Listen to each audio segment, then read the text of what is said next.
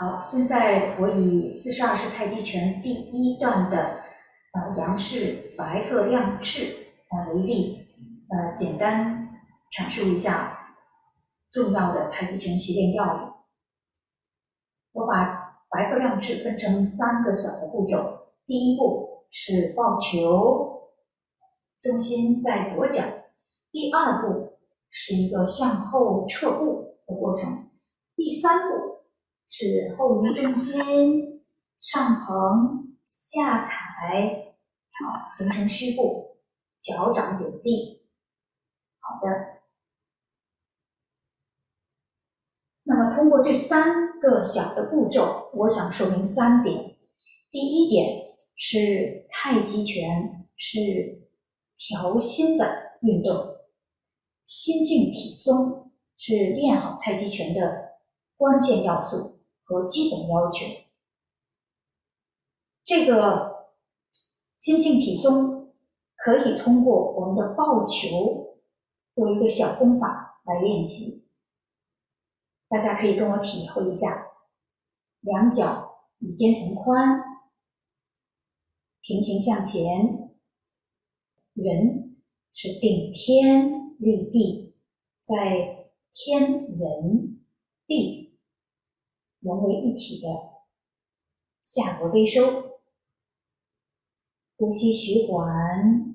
我们可以把两手缓缓扶起，与肩同高，然后两肘下沉，然后做一个抱球。啊，右手移慢慢移到左手下，我做的是镜面示范。掌心相对，还可以转回来做对侧，以右手在上，左手在下的抱球。意念要专注于当下，静心的过程并不是没有意识，而是培养我们排除外界的杂念啊，专心致志在于当下。是一个高度的精神集中又放松的过程，也是一种能力，是让我们能够把思想集中到身体的感知上来，对我们的身体有一个深度的感知，这样才能够让我们真正的以心行气，以气运身。第二个要素是。太极拳是要松而不懈，柔而不软，它是有一个内部的张力、膨力，我们叫做处处有膨劲儿。用这个白鹤亮翅动作来说一下，我们刚才说的抱球，抱球的时候手与手掌中间有一个球，那么我们在所有的关节这个地方也要有一个球，然后我们后面撤步的时候，后移重心，大家注意了，在后移重心的时候，我们的髋关节啊这个位置，髋关节要松腰落胯啊收腹，这个身形如果调整不好，那么我们的气血。也是没有办法顺畅的运行，行不正则气不顺啊。第三个，我想说的是，太极拳的呼吸也很重要。太极拳是由于武术的攻防含义的动作组成的。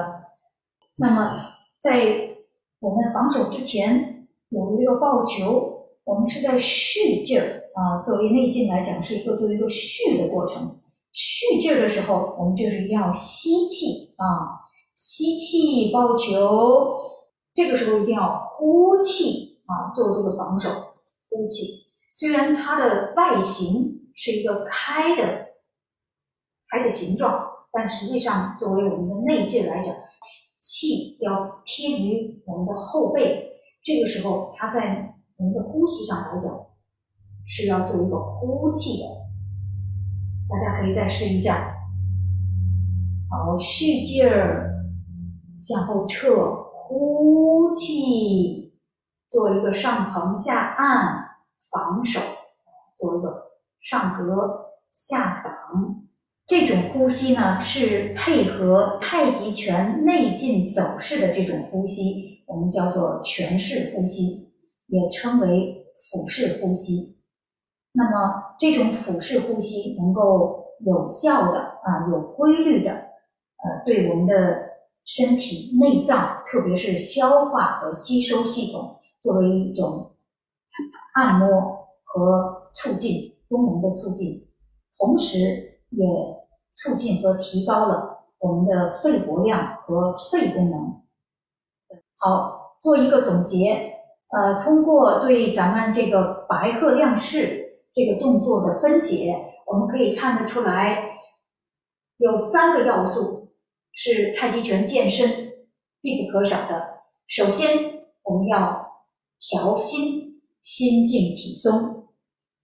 第二，是要调身啊，太极拳的对身形的要领还是相当多的，比如说沉肩坠肘、含胸拔背啊、松腰落臀、上下协调，这都属于调身的范围之内。